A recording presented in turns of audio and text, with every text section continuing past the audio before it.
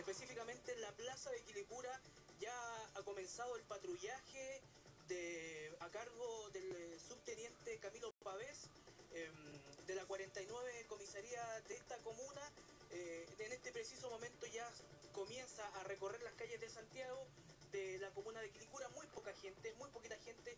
Eh, en este instante estaba recorriendo uno de los centros eh, asistenciales que hay justo al frente del mall.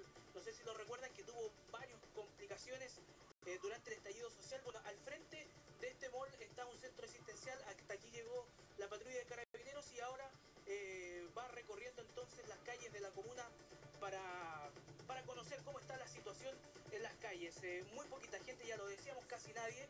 Eh, ¿Qué es lo que indica el protocolo? Según lo que nos contaba el subteniente, es una vez que eh, encuentren alguna persona, ellos se bajan, le toman los datos, eh, le preguntan eh, haciendo a esta hora en la calle, que ya hay toque de queda. Lo que indica el protocolo es que se lo llevan a la unidad, es decir, a la comisaría, y, y ahí el fiscal decide qué va a pasar con esta persona de acuerdo eh, a los argumentos que puede esgrimirle a la policía.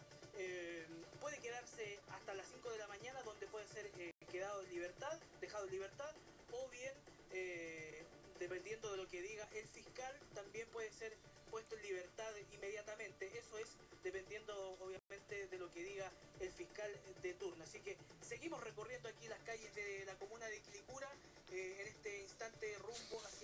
Valle Lo